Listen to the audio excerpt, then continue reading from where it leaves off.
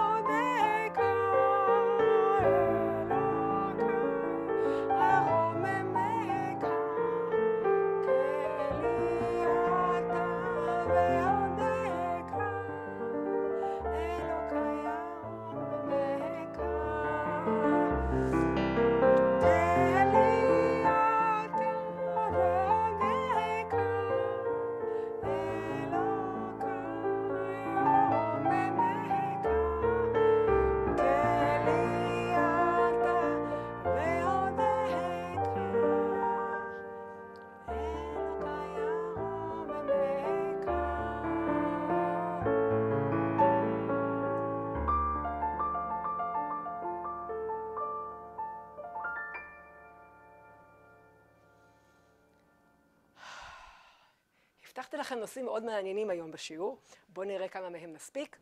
אמ, הרבה הרבה דברים שמתקשרים ביניהם בצורה מפליאה בפרשה שלנו.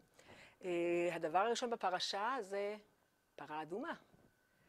אה, שאלתי אתכם איך זה יכול להיות קשור עם, עם ניגון.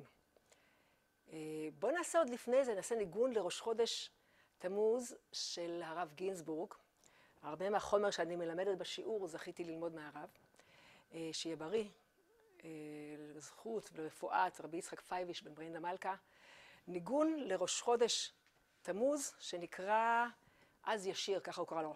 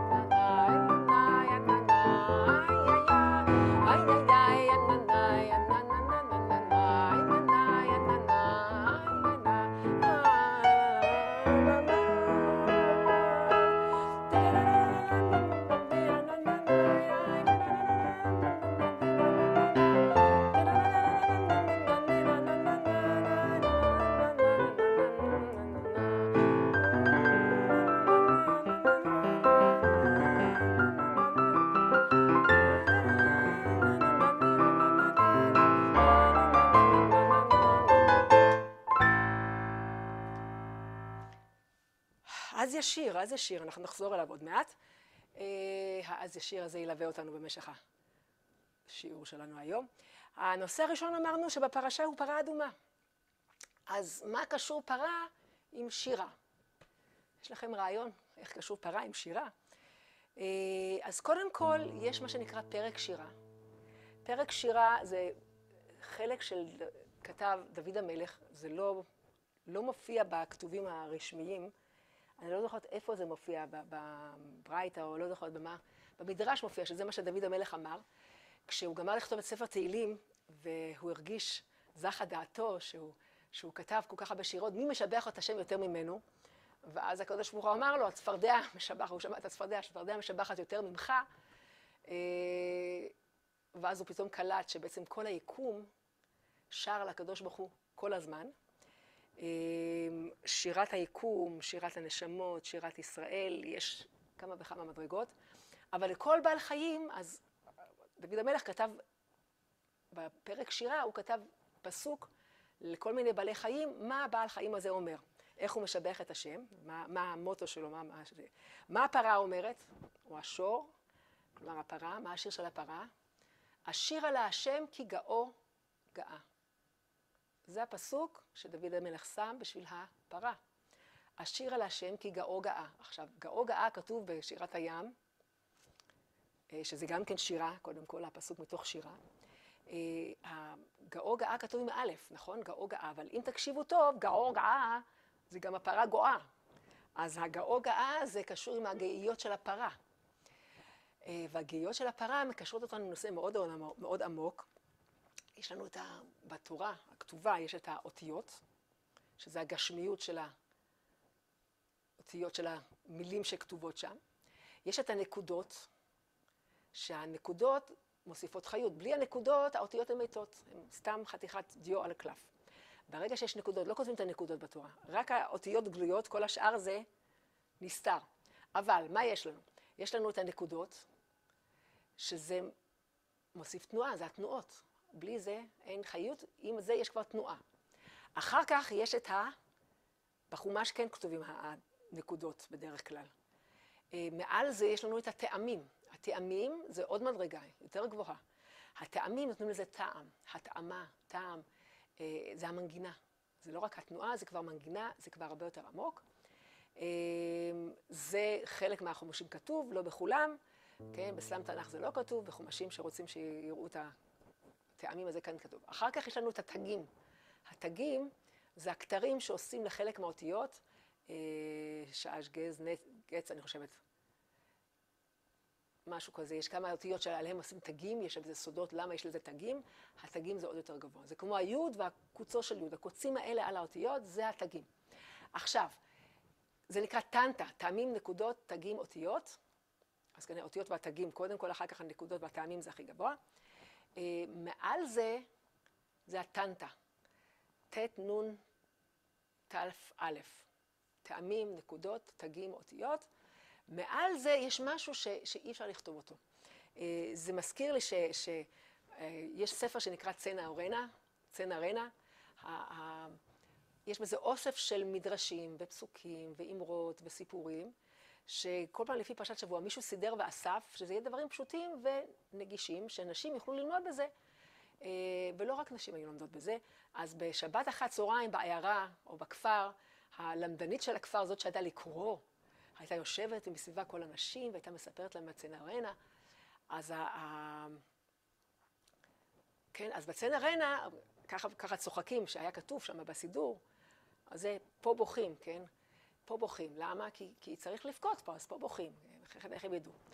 אה, עכשיו, יש חזן שהוא שר איזה פסוק, והוא יודע שפה הוא צריך לבכות, אז פה הוא בוכה, וזה נשמע כל כך מעושה.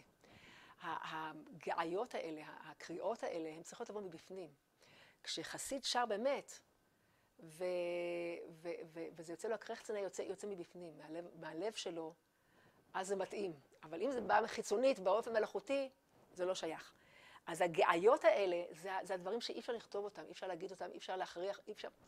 זה משהו ש, שזה זה ספונטני, זה משהו שקשור עם הנפש. הגעיות האלה קשורות עם הפרה, ואחד הדברים שמביאים, יש סיפור בנביא, כשאהרון השם נשבע אצל הפלישתים, וזה אז כש, כשאלי הכהן נפל כשהוא שמע את הבשורה, כן, השמואל היה הנביא, ואחר כך הבית דגן, הפסל של דגון היה נופל מהכיסא, והיה להם שם כל מיני צרות, אז הפלישתים הבינו שצריך לשלוח את הארון חזרה, אבל הם עוד לא היו משוכנעים האם זה באמת אצבע אלוקים או לא, אז אמרו בואו ננסה. אז הם לקחו עגלה חדשה, שמו עליו את הארון, קשרו לעגלה שתי פרות מניקות.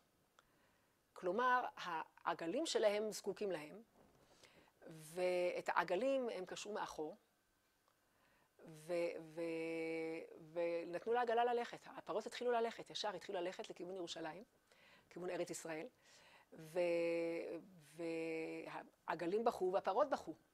אבל הם המשיכו ללכת, זאת אומרת, העגלים קראו להם והם המשיכו כי אהרון דרש לחזור לירושלים. אז הם הבינו שבאמת נכון. מה כתוב שם? כתוב שם, ותשרנה הפרות. אה, ותשרנה, אז יש לזה שני פירושים. או שהם פשוט הלכו ישר, הם המשיכו ללכת, לא חשוב מה, או שהם שרו. ומה הם שרו? אז זהו, זה הגאיות האלה. הגאיות זה הדברים שהם מעל, מעל טעם ודעת. זה הגאיות. אז בואו נשיר, אין לי שיר על פרה, אבל בואו נעשה, וואו, יש לי כל מיני שירים שאני רוצה לשיר איתכם. אה, בואו נשיר ברכי נפשית השם. אה, גם ניגון של הרב גינזבורג.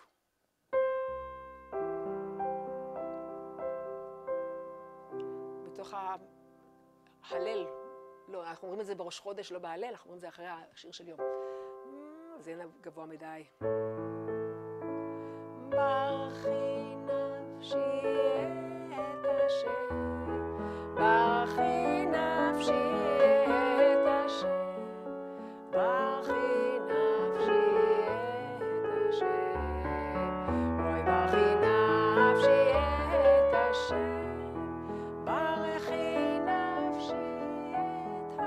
השם,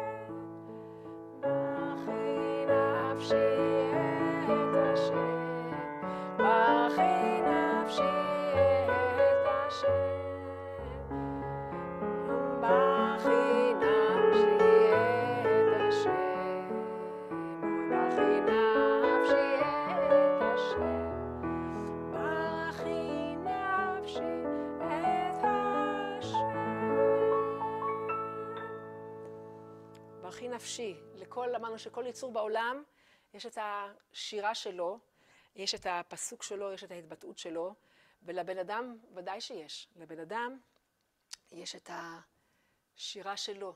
בסולם של התפילה, אנחנו מדברים על זה בדרך כלל או במקום אחר, יש את הסולם של התפילה, אה, אז יש קודם כל שירת היקום, שזה הפסוק, ברכות השחר, והפסוקי דה זמרה, ואחר כך יש שירת הנשמות, זה בפסוקי דה זמרה בהמשך, אחר כך שירת המלאכים, ברכות קריאת שמע, וקריאת שמע ב-18 זה שירת הנשמות ושירת השם בעצמו, יש כמה וכמה מדרגות. אה, בפרשה שלנו אנחנו קשורים עם קצת, אנחנו קשורים בעיקר עם השירה של הנשמה, כי יש לנו את הבאר. אז אמרנו ש, שפרה אדומה קשור עם החוקה. מה זה חוקה? החוק הזה, החוקה חקקתי ואסור להרהר אחריה. החוק הזה שלקחו אותו בתור דוגמה, הפרה האדומה, זה משהו שהוא מעל טעם ודעת, גם על זה דיברנו הרבה, שגם הניגון מביא אותנו מעל טעם ודעת.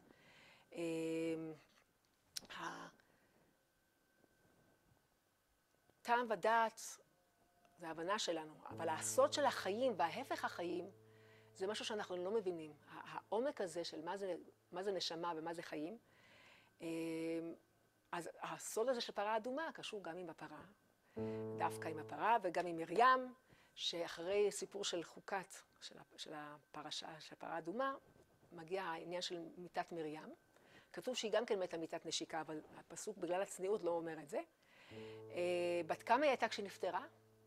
מי שיודעת, החז"ל מלמדים אותנו, לא כתוב בפירוש בשום מקום, שהיא הייתה הרי בת שבע שנים יותר גדולה ממשה, היא הייתה הבכורה. היה לנו את מרים, את אהרון ואת משה.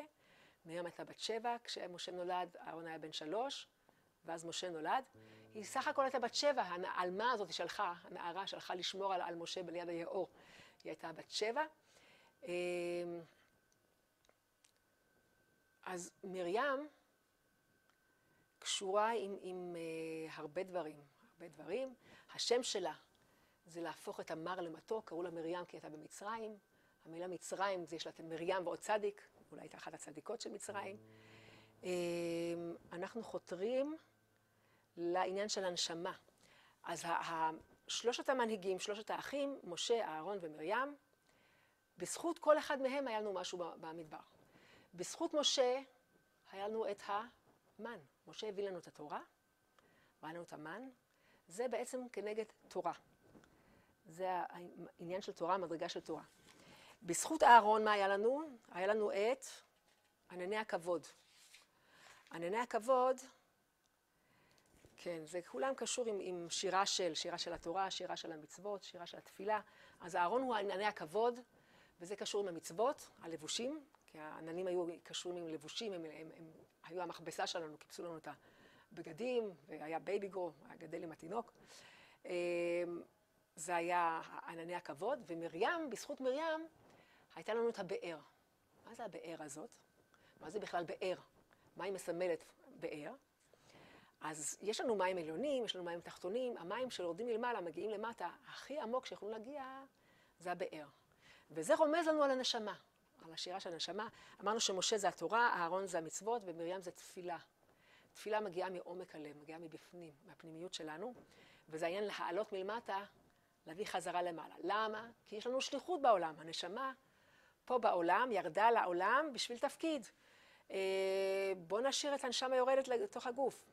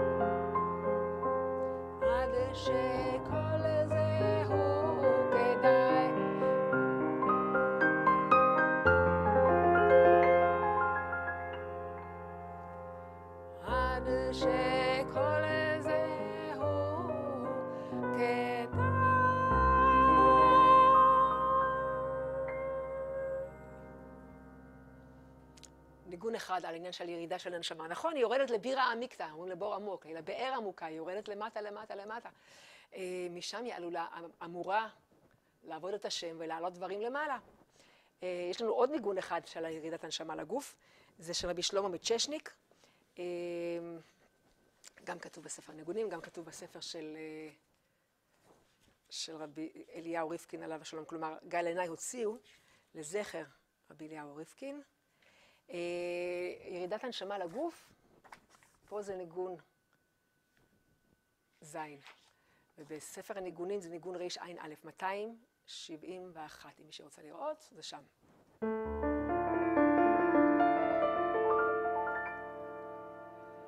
יש לו שלושה חלקים לניגון, הראשון, הבית דין מודיע לו שהוא צריך לרדת לעולם, השני זה המחאה של הנשמה שהיא לא רוצה, והשלישי זה קבלת הדין שהיא חתימת הגזר דין לכוחך אתה היא מקבלת על עצמה. זה הענווה והצניעות והביטול.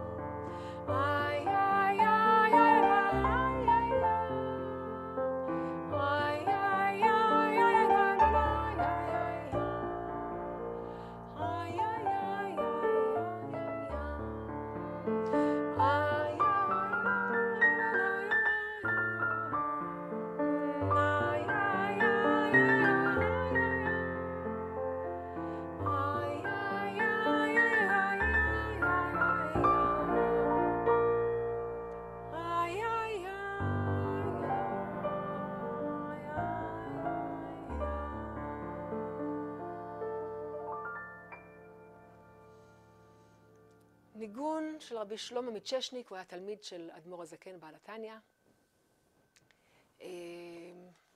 ניגון שמתאר את הירידה של הנשמה לתוך הגוף. אז כן, הנשמה יש לה שלושה שלבים. יש לה את השלב שהיא למעלה, בעולמות העליונים, לפני שהיא יורדת, היא בגן עדן, היא שומעת את השירה של המלאכים, זה השפה של הנשמה, זה ניגון, ואז היא יורדת לעולם, ופה היא צריכה לעבוד קשה, ואחר כך, אחרי 120, כשהיא מגיעה חזרה למעלה, אז היא מקבלת את השפע, את כל השכר על מה שהיא עשתה.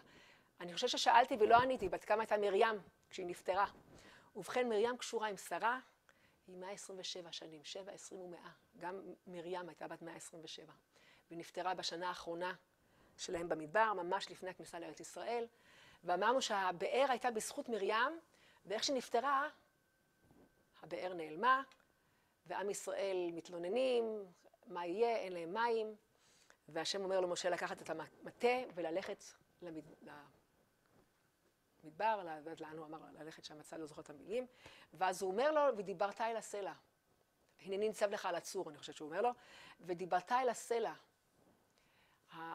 משה היה אמור לדבר אל הסלע, ובמקום זה מה הוא עשה? הוא היכה בסלע.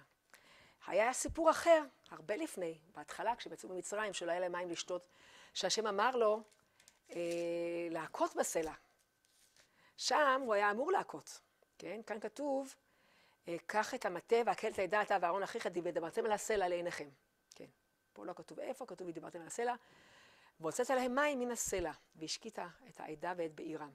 עכשיו, משה אה, כועס עליהם, אומר שמעו נא המורים, מה זה מורים?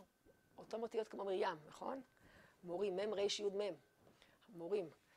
אה, אותיות של מרים, עד עכשיו מרים הייתה, מרים גם הכניסה לו, מאז שהוא נולד, מרים מטפלת בו ודואגת לו. ו, ומרגיעה אותו כנראה קצת גם כן, כי עכשיו הוא כעס. אולי בגלל שמרים לא הייתה, זו הדעה של כמה מפרשים. והוא מכה את הסלע במקום, ולכן הוא נענש לא להיכנס לארץ. אה, בואו נשאיר את הניגון של מתי משה כן היה אמור ללכת בסלע, על הסלח. על הסלע,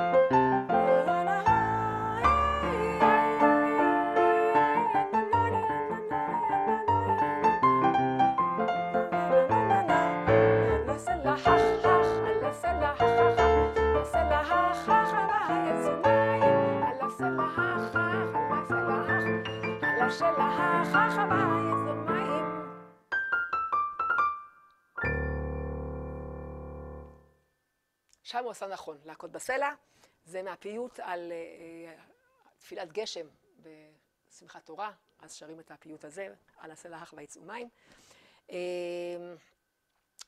אז הבאר הזאת שמלווה אותנו, אתם יודעים שהבאר הייתה מאוד מיוחדת.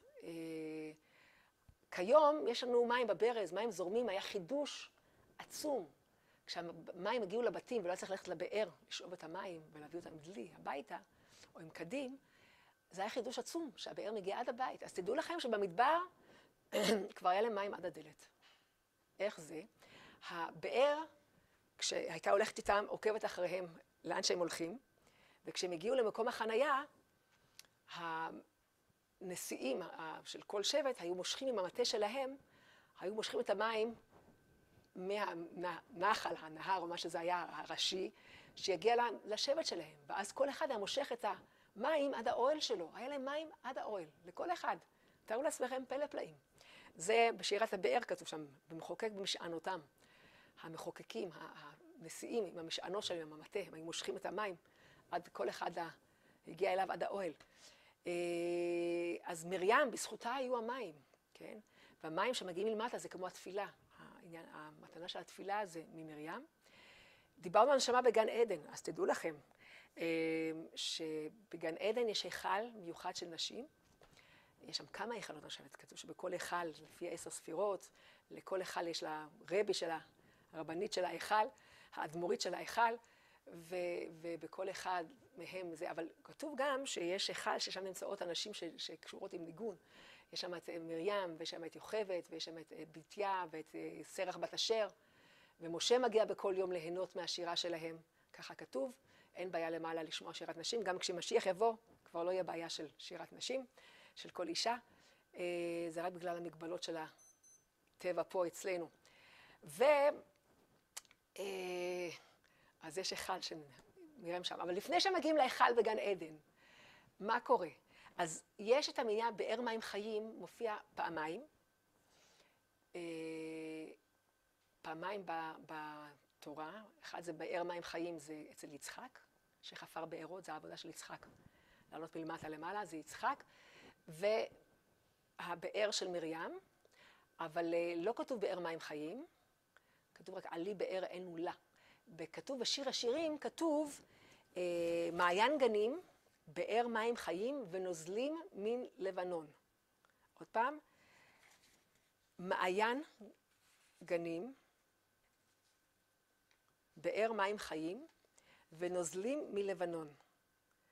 כן. אה, המעיין גנים זה הנשמה לפני שירדה לעולם הזה.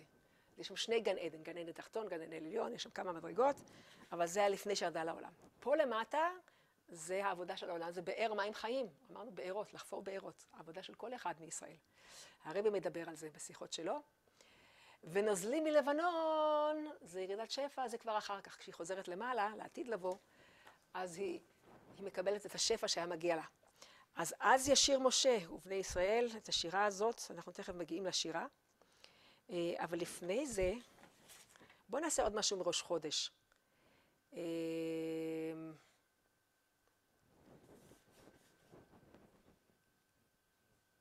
מראש חודש. יוסף השם עליכם, עליכם בעדכם.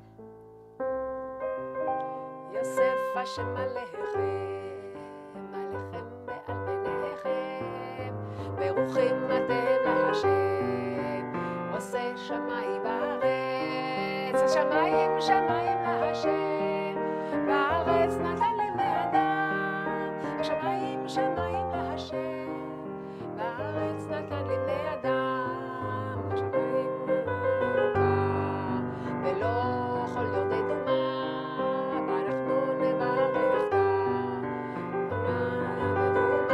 לא המתים יעללו כה ולא יכול יורדי דומה, ההבדל בין החיים והמתים, אנחנו גם חלק מהפרשה שלו.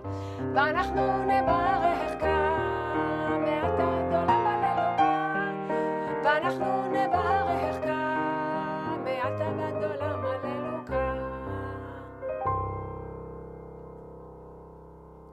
נחזור לעוד שיר מההלל שאני רוצה לשיר איתכם.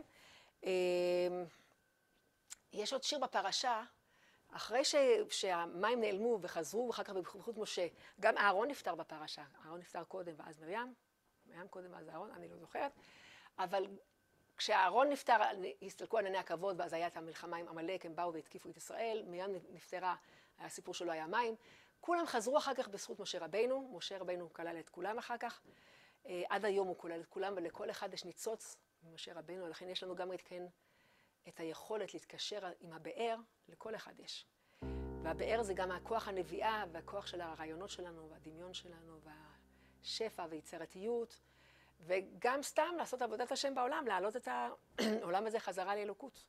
כמו שאנחנו לומדים בשיעור טניה, התשובה, תשוב ה', ה' צריכה לחזור למעלה. עכשיו, אחרי, אחרי זה ואחרי זה שוב מתלוננים, העם מתלוננים רע ומתלוננים על לחם הקלוקל, הם מקטרים, מדברים לשון הרע על הלחם, והשם שולח את הנחשים השרפים לנשוך אותם, ואז השם אומר למשה, קח לך שרף ושים אותו על נס, קח לך שרף, שזה נחש, יש נחשים ויש שרפים. עכשיו, מה, מה הרמז? אומרים שהרמז הוא שהיה חסר להם חיות. השרף צריך להכניס חיות וברענדיקייט, צריך לבעור באש אלוקית. צריך, אנחנו צריכים, החיים שלנו צריכים להיות מלאים אש. לא להיות אפורים ורדומים, צריך שיהיה אש לאלוקות, כן? אה, ואז הוא שם את הנחש, וכל המביט עליו זה הנחש נחושת, נושא עשה. לשון נופל על לשון, היה מוזיקלי, משה רבינו מאוד מוזיקלי, אנחנו יודעים, הוא זה שלימד את הלוויים לנגן. ואז יש לנו לשון נופל על לשון, נחש נחושת, ואז כל מי שיסתכל על נחש, אז הוא חי. אז המדרש אומר, מה? וכי נחש ממית וכי נחש מחיה? איך זה יכול להיות? מה פתאום? אלא בזמן שישראל מסתכלים כלפי מעלה ומשעבדים את ליבם לאביהם שבשמיים היו מתרפאים, ואם לאו היו נמוגים. זה מהמדרש. אה, אני לא יודעת מי הלחין אותו, ויש יש, אה, יש שתי מנגנות, אחת של פרחי, לא נעשה אותה, יש אחת יותר עתיקה.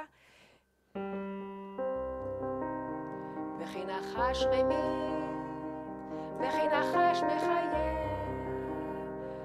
וכי נחש ממית, וכי נחש מחיה, אלא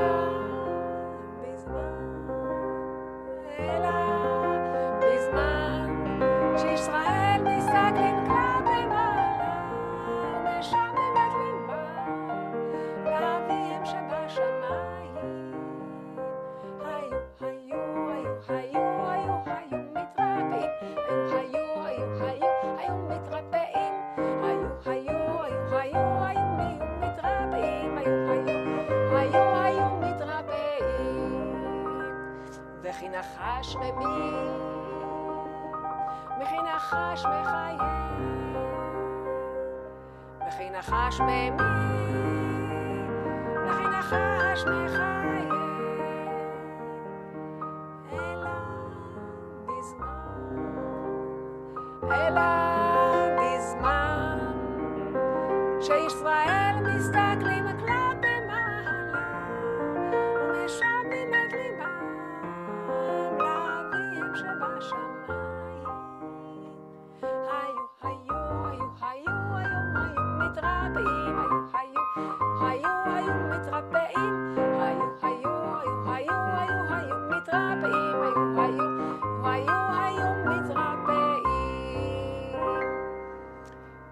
שרנו את השיר הזה כבר פעם בעבר, מי שזוכרת. מתי שרנו את זה? לכבוד מה?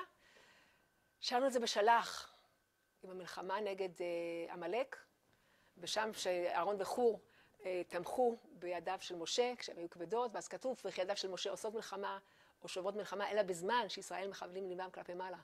היו מתגברים. Uh, חלק אחר של אותו מדרש, uh, היום שרנו רק את החלק של הפרשה שלנו. אז אנחנו עם הבאר. הבאר שלנו, אה, שהיא בזכות מרים. אה, אז שירת הבאר היא מאוד קצרה. היא מאוד קצרה, זה בשישי בפרשה שלנו. כתוב, אז ישיר ישראל את השירה הזאת, עלי באר, ענו לה. תענו לה. אה, עלי באר ענו לה. יש אומרים שזה כל השירה, ויש אומרים שזה ממשיך גם כן את כל הפסוקים הבאים, את הארבע הפסוקים האלה. באר חפרו השרים, קראוה נדיבי העם, במחוקק במשענותם, וממדבר מתנה, וממתנה נחליאל, ומנחליאל במות, ומבמות הגיא אשר בשדה מואב, ראש הפסגה, ונשקפה על פני הישימון. פסוקים מאוד מאוד מרוכזים, מאוד מתומצתים, יש שם המון דברים. אז על מה השירה הזאת? למה הם שרו ישראל? עכשיו הם שרים על הבאר? עכשיו הבאר, אה, הם קיבלו אותה כבר בשנה שיצאו ממצרים, אז, אז מה פתאום עכשיו שרים על הבאר? עכשיו הם משבחים אותה.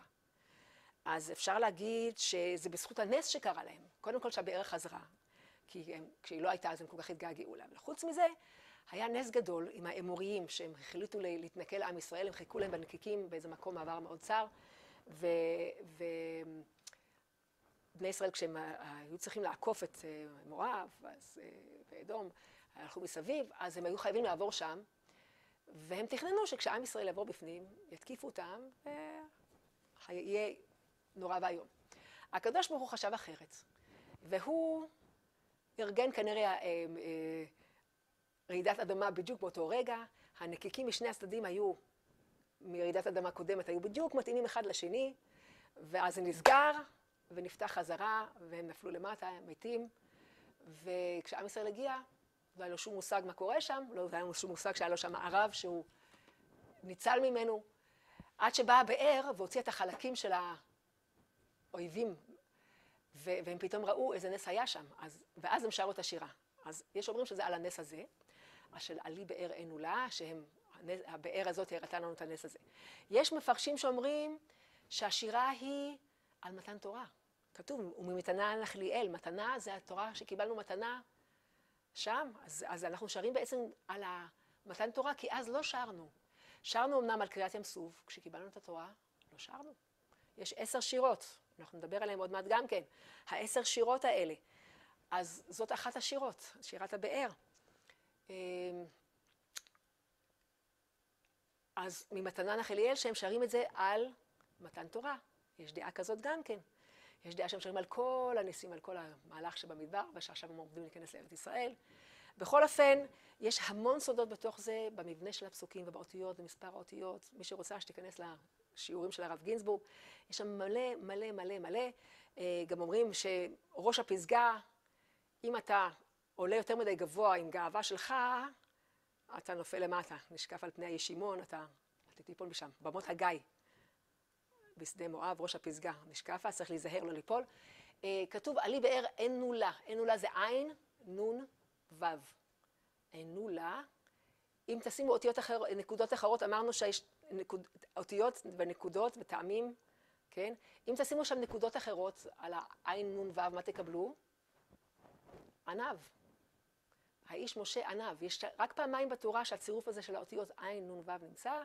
זה פעם אחת פה, ופעם לפני זה שהאיש מוצא ענב. עכשיו, בזכות הענבה הזאת, אמרנו, בזכות הענבה יש לנו, היה לנו את המים ממרים, וגם את העננים מהארון, וגם את המן דרך משה, בזכות משה רבינו. אה, צריך, צריך ענבה, תמיד צריך ענבה. אה, אז בואו נעשה עוד ניגון. אז ישיר ישראל, עוד דבר, אבל בואו נעשה ניגון. הייתי צריכה לנגן פה את האז ישיר, ניגנתי אותו לפני כבר. אמ, בואו נעשה ניגון שאני רוצה לשיר איתכם בגלל עוד נושא שאני אדבר עוד מעט. נזכיר אותו כבר. אה, לפני יומיים היה כוח סיוון. כוח סיוון זה התאריך שבו הרבי והרבנית הגיעו לארה"ב, ניצלו מהתופת באירופה, זה היה באמצע מלחמת העולם השנייה, אה, הייתה האונייה האחרונה כנראה שיצאה מאירופה לארה"ב. אה, הם אה, הגיעו לארה"ב והמשך החסידות ניצל בזכות זה, ההמשך לרבי הקודם. אז אמרתי שנעשה גם היום שירים שקשורים עם הרבי והרבנית, ואנחנו גם הולכים לדבר על ג' תמוז, שזה עוד רגע בשבת.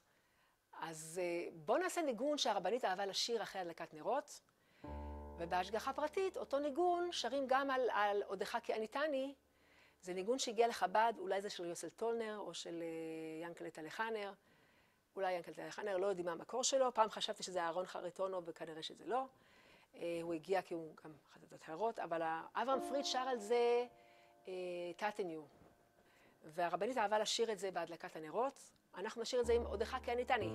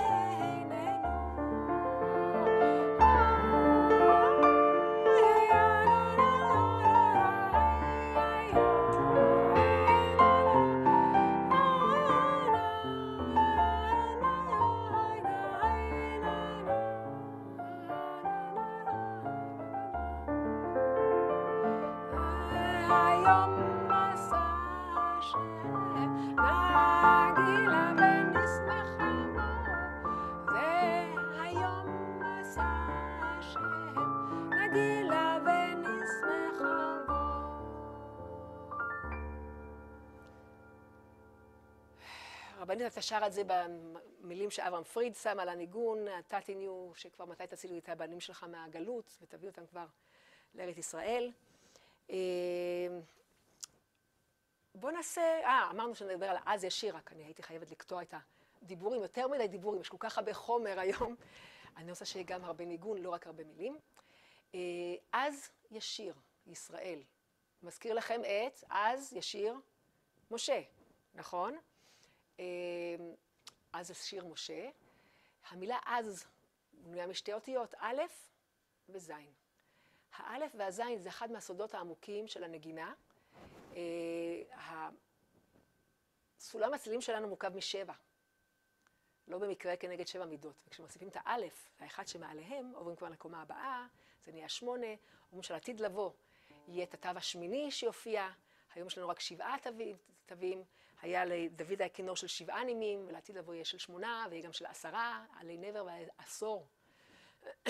העשור הזה מקשר אותנו עם השירה השירית, אבל נשאיר אתכם עוד קצת במתח. אה, עוד ניגון ששמו עליו מילים על הרבנית.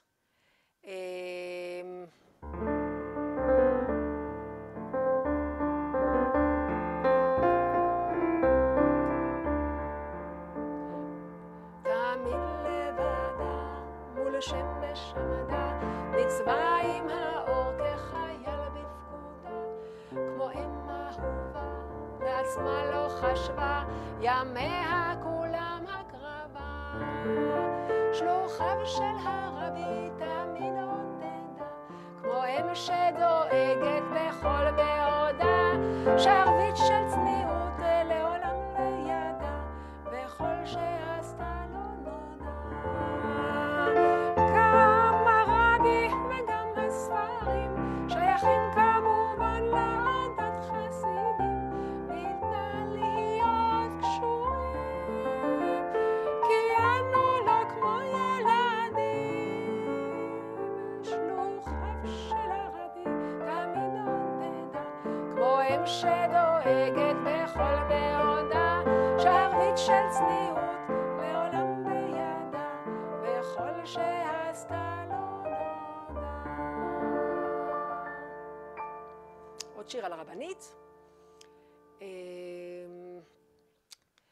לכבוד הרבי והרבנית ולכבוד ג' תמוז שממשמש ובא, בואו נעשה כמה שירים שהיו מאוד מאוד קשורים עם הרבי, או שהוא מאוד אהב אותם ושר אותם הרבה, או שהוא לימד אותם. אמ, אז השיר שאפשר להגיד שהוא כמו היה הסמל של הרבי, שומעים את זה, ישר שומעים את קולו של הרבי שר, תמונה יפה מסתכל עלינו, אומר לנו, לחיים, ככה הייתי משוכנעת שנים עד שהסתכלתי מקרוב, ראיתי שזה מטבע לצדקה, אני הייתי בטוחה שיש לו כוסית, לחיים. אז הנה אומר לכם לחיים, אה, או צדקה. הניגון שהרבי היה שר המון, הוא בעצם לא ניגון של הרבי, זה ניגון של אדמו"ר הזקן בעל התניא. צמא לך נפשי, קשור עם מים גם כן. צמא לך נפשי, כמה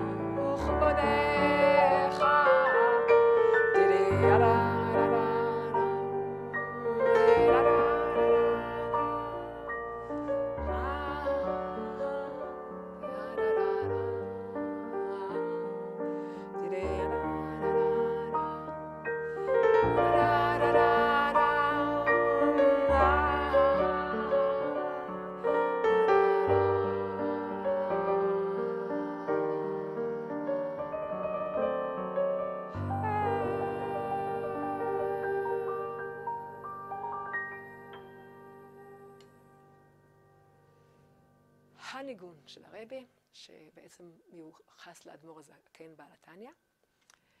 עוד אחד מהניגונים של הרבי, שהרבי לימד, והוא מאוד אהב אותו, אה, וקשור לנו לנושא של ירידה של נשמה למטה, לחפור פה בארות בעולם הזה, זה כמובן שמיל, על הנשמה לפני שהיא יורדת לעולם, ופה למטה היא כמו בבית הסוהר, אבל ירידה זו צורך עלייה, לא נרחיב היום, רק נשאיר אותו.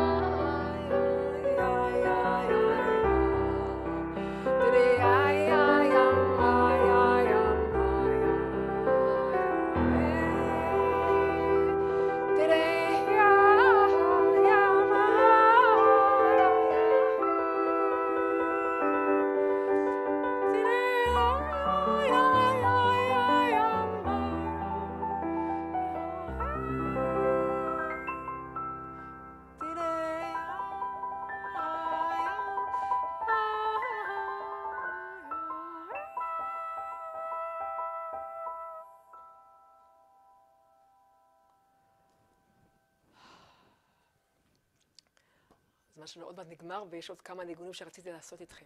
דיברנו על השרף, על הנחשים השרפים, אה, ועל באר מים חיים, ואפילו לא אמרנו שזה כל כך פשוט, שהעניין של החוקה ומרים, למה הם קשורים ביחד? המדרש אומר שכמו שהפרה האדומה מכפרת, מטהרת את המתים, ככה מיתת צדיקים מכפרת עלינו.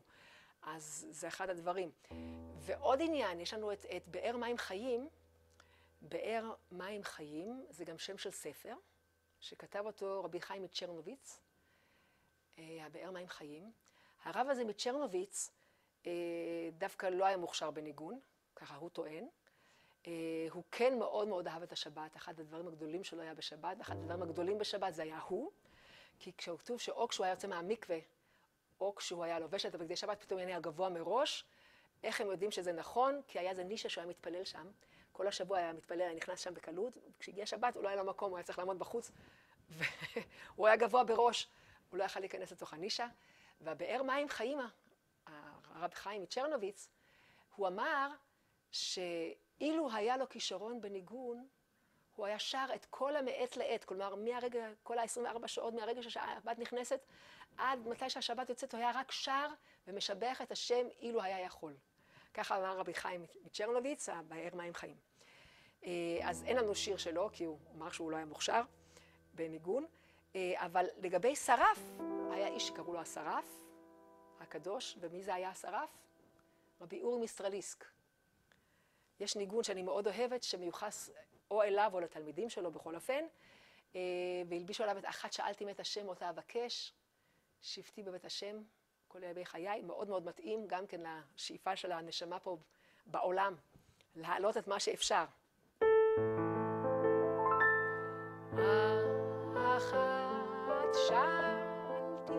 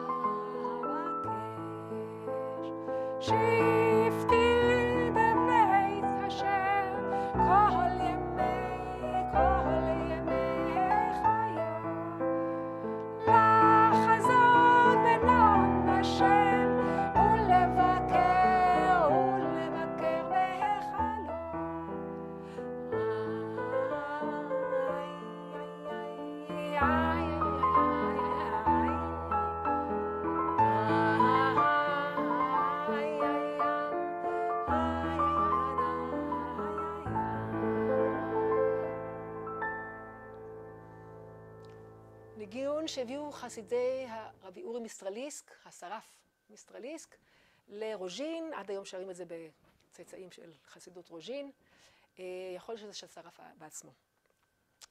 עכשיו, אנחנו רוצים עוד ניגונים של הרבי, אבל הבטחתי לדבר על, על עשר שירות, שקשורות עם עשר פרות אדומות שנעשו, ששורות גם עם כתבתי עוד משהו. אה, לא זוכרת. אה, כן, עם, עם השירה לעתיד לבוא, עם הכינור של עשרה נימים, זה כבר הזכרנו. כינור של עשרה נימים. אז קודם כל יש עשר שירות. מה עם העשר שירות? יש כמה דעות מהשירה הראשונה. האם זה אדם הראשון כשהוא קם על רגליו ושר מזמור של יום השבת, או היה לכם השירה הזאת כליל התקדש החג, כשהם התבשרו שהם יוצאים ממצרים, בלילה של ליל הסדר, ליל הפסח הראשון, הם שרו שירה, אז יכול להיות שזו השירה הראשונה. בכל אופן, השירה השנייה היא אז ישיר. אז ישיר משה ובני ישראל, משה ובני ישראל שרו. איך קשורה מרים עם זה? אומרים שהשירה שלה הייתה יותר גבוהה, היה לה את ההתלהבות, אנחנו רוצים חיות. אמרנו שהשרפים, שים לך, קח לך שרף ושים אותו על נס, צריך התלהבות. המעודדת והמלהיבה הזאת מרים, שכבר במצרים היא עודדת אנשים, קודם כל את אבא ואימא שלה, שלא להתייאש, וכן כדאי להביא עוד ילדים לעולם. ואחר כך את, את כל דור יוצאי מצרים, שלא להתייאש, ויש לנו עתיד, ותכינו תופים, יהיה ניסים גדולים, גם היום צריך להכין תופים, הנה, יש פה למעלה תוף מוכן כבר, מחכה ל... למשיח. אמ, אז מרים הייתה זאת שהלהיבה ועודדה וחיזקה, זאת מרים. אז השירה של משה רבינו, כוללת גם את השירה של הנשים, כן, טען להם מרים, שירו להשם כי גאוגרה, שלה הייתה יותר גבוהה משל האנשים, דיברנו על זה בפרשת בשלח ובקראת שביעי של פסח. אז זו השירה השנייה.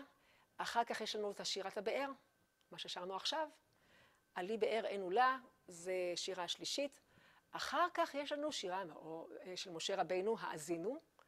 אה, יש התחלת התורה, סיום התורה, סיום התורה זה עכשיו האזינו, האזינו השמיים ואדבר, אז זה השירה הרביעית. השירה החמישית קשורה גם כן מאוד איתנו היום. למה? את השירה החמישית אמר יהושע בן נון, כשעם ישראל היה צריך להילחם נגד הכנענים, והיו צריכים עוד זמן של אה, אור יום, וזה היה, התאריך היה ג' תמוז, ג' בתמוז, יהושע אה, ביקש מהקדוש ברוך הוא נס, נס כדי לנצח. והרבי שואל בדבר מלכות, הוא שואל, למה הוא לא ביקש פשוט שכמו שלפני רגע היה נס שנפלו אבנים גדולות עליהם, שיפול משהו וגמרנו את המלחמה? ולמה למה הוא לא ביקש שפשוט הם ינצחו, שיוכלו לעשות ראיית לילה? מה הבעיה? במקום זה, מה שהוא עשה, הוא עצר את השמש. הוא אמר לה, השמש בגבעון דום, וירח בעמק הילדון, ויש ויכוח בין החכמים, האם הוא עצר רק את השמש עצמה באותו יום, באותו רגע, או שהוא עצר את כל גלגל החמה עם גלגל היקום, הוא עצר את הכל. שאלה מאוד מעניינת, תקראו בשיחת, בשיחת, בדבר מלכות של הרבי. אה, בכל אופן, זו השירה של יהושע, השירה החמישית. אה, שמש בגבעון דום וירח בעמק איילון, אה, זמננו כמעטם. ואז, זה החמישית, אחר כך יש לנו את שירת חנה. קודם שירת דבורה, ואחר כך שירת חנה. שירת דבורה, הניצחון על הכנענים שקשור עם שירת הים, מעניין מאוד שם. ואז יש את שירת חנה, האימא של שמואל הנביא, שיש הרבה מה ללמוד בזה, והגענו כבר לשבע, ואחר כך יש לנו את שירת דוד. אה, דוד יש מופיע פעמיים, פעם בתהילים ופעם בשמואל. אה, השם צורי וישועתי, משגבי, מה שהוא אומר שם, מגדול לשעות מקום, מגדיל לשעות מלכו בשני המקומות. ואז יש לנו שירה התשיעית של שלמה המלך, שיר השירים, אשר לשלמה, ושירה עשירית, לכבוד המשיח, שיר חדש לכבוד משיח. אותו דבר היו עשר פרות אדומות, הראשונה עשה אלעזר הכהן, בנו של אהרון, העניין של ההחלפה בין החיים והמוות, אה, גם שאהרון מת והעביר את השרביט לזה, לאלעזר בנו, ואלעזר, מקווה שאמרתי נכון לפני זה, אלעזר בן אהרון, הוא עשה את הפרה האדומה הראשונה, ואת העשירית יעשה משיח. אז זה לא במקרה, וזה גם קשור, וקשור עם הכינור של עשרה ימים כשיבוא משיח של דוד יהיה. אה, הרבי דיבר על זה, הרבי דיבר שצריך שירה של עתיד לבוא, שהוא לא יודע איך יהיה השיר כשיבוא משיח, אבל הוא יודע שזה יהיה שיר שמח, שיבטא את העונג והשמחה שנגמרה הגלות, ושיש לנו עכשיו גאולה שאין אחרי הגלות יותר. ושני דברים הרבי שר, פעם אחת שהוא דיבר על זה הוא שר את ניית ניית נקבו, שזה גם קשור עם חג הגאולה של יום בתמוז, אנחנו נעשה את זה שוב.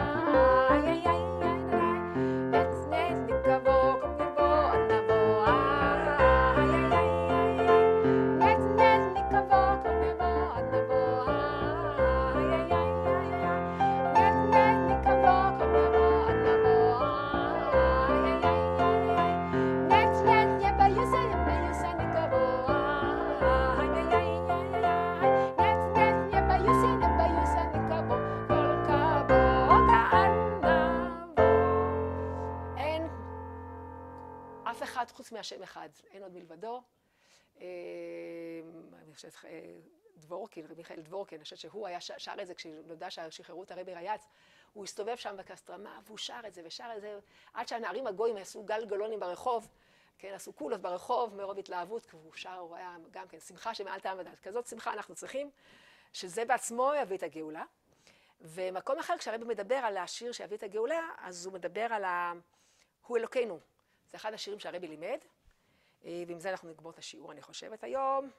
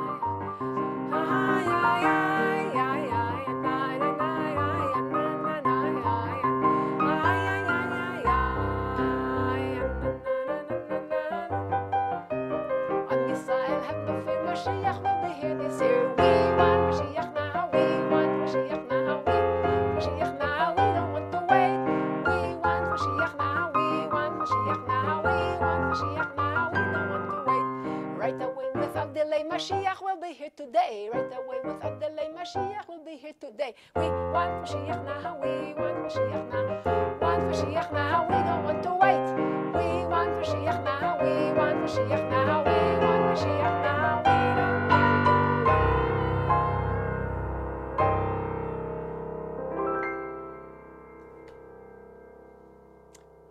כאן להיום, נתראה בשבוע הבא, בעזרת השם. שבוע הבא זה כבר ה' תמוז, אפשר לדבר על יחזקאל, אה, בלק, הרבה הרבה שירות. אז להתראות בשבוע הבא.